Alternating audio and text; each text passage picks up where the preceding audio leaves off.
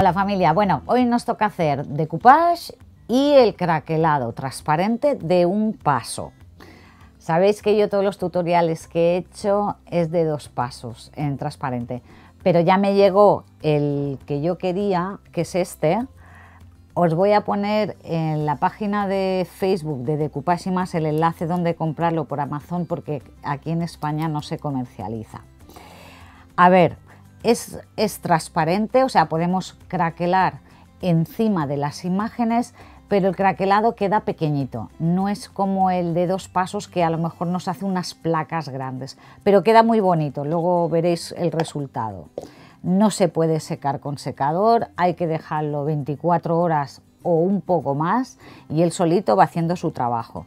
Y además hay que poner bastante cantidad para que nos quede el craquelado que es. Mm, yo he hecho pruebas de dar unas pinceladas como si fuera un barniz um, y, el, y queda muy diminuto. Entonces tenemos que poner una buena capa para que nos haga un craquelado que ya veréis que es, es pequeñito pero queda muy bonito. Y además en plano, o sea, en redondo no podemos hacer porque de la cantidad que ponemos se nos iría todo por los lados.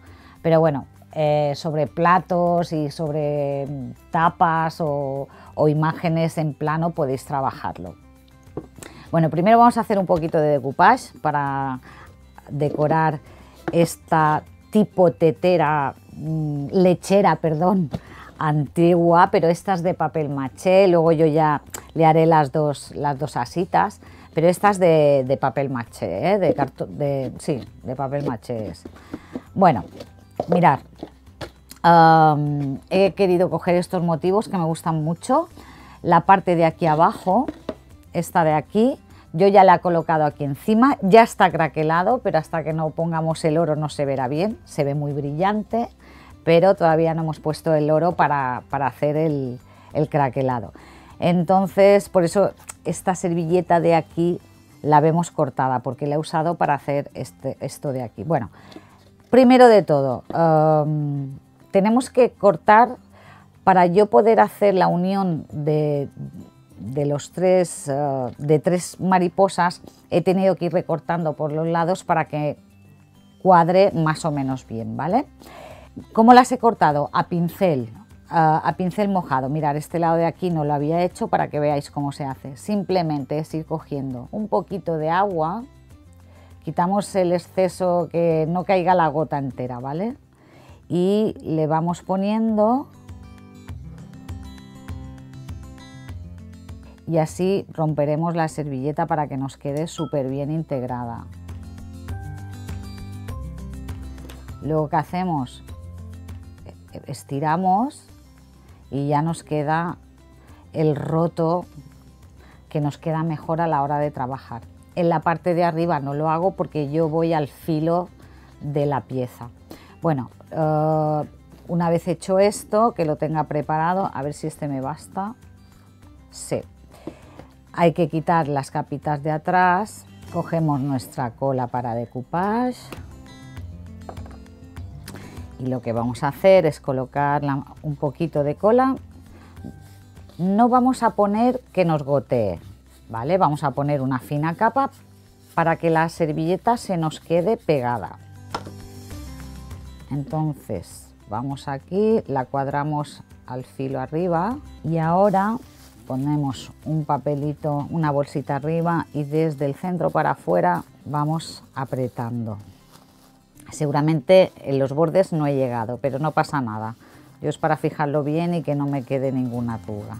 Luego con cariño le vais dando por encima de dentro para afuera siempre. Deciros que le he dado dos manos de blanco antiguo a la pieza para que la servilleta se nos vea bien porque el papel maché es bastante oscurito. Bueno, ahora lo que vamos a hacer es secar un poquito para seguir trabajando. Esto ya lo tenemos ok, ¿vale? Esto quedaría luego así. Bueno, así, la voy a decorar un poquito más porque aquí le pone un poquito de dorado, luego le voy a poner eh, unos puntitos en plata, o sea, que voy a hacer, o, en oro, ya veremos, ya veremos. Vamos al craquelado, veréis. Si os fijáis, Ah, esto ya está craquelado, ha quedado con un brillo muy espectacular. Este craquelado, si pasas la mano, queda muy rugoso. No es, no es igual que el otro de dos pasos que queda muy plano. Son diferentes pero lo bueno que tienes es que puedes craquelar también encima de las imágenes y no es tan complicado de poner como el, otro que usamos eh, de dos pasos. Bueno, yo ahora voy a hacer, os voy a hacer una prueba para que veáis la cantidad que voy a poner. Mirad, por ejemplo, en esta flor de aquí, para que veáis, para que os quede este mini craquelado, ¿vale? La cantidad que se tiene que poner es bastante. O sea, es como si hiciéramos una buena capa porque, a ver, yo he visto que también hay gente que lo que hace es darle como si fuera para proteger en barniz y queda un craquelado tan mini, tan mini que es que a mí no me gusta, queda como sucio, pero bueno, todos son gustos, ¿eh? Entonces yo por eso le pongo una buena capa para que nos haga al menos un craquelado visible. ¿Veis? Esta es la capa que nos tiene que quedar blanquecino, la cantidad que tenemos que poner. Bueno, esto se tiene que quedar secando 24 48 horas. Eso será según la temperatura que tengamos. No podemos usar secador, no podemos forzar a que el craquelado funcione porque no va a funcionar. ¿Vale? Yo creo que esto estuve un día y medio para que me, para que me saliera el craquelado. A ver, yo le voy a poner mm, un color oro chillón, el oro rico, para que lo veamos bien, porque con este dibujo también, si a lo mejor le pusiera verde se vería más, pero no quiero tapar lo que es el dibujo. Es un dibujo que está muy apretadito, uh, las formas y todo, entonces es difícil un poco de distinguir.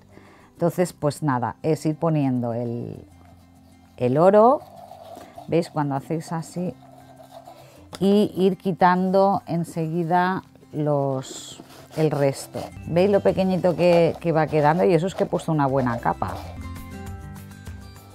Mirad qué bonito queda. Queda un craquelado pequeño, pero queda muy bien definido. No podemos hacerlo, por ejemplo, ahora si yo quiero hacer todo esto, eh, a ver, yo le puedo dar como una capa, pero va a quedar como un sarpullido, no, no, me, no me gusta el efecto que hace, pero ah, para gustos colores, dicen, ¿no? Podéis probar si queréis y, os gusta. Ah, bueno familia, yo voy a seguir decorando un poquito más la pieza esta, ya os digo, pintaré esto de dorado, ya veréis luego las fotos finales cómo ha quedado y que bueno, que os mando un abrazo muy fuerte, Esperamos que os haya gustado. Mil gracias a todos por estar ahí viéndonos y por favor, como siempre, ayudarnos a compartir los tutoriales. Nos vemos la próxima semana. Os queremos.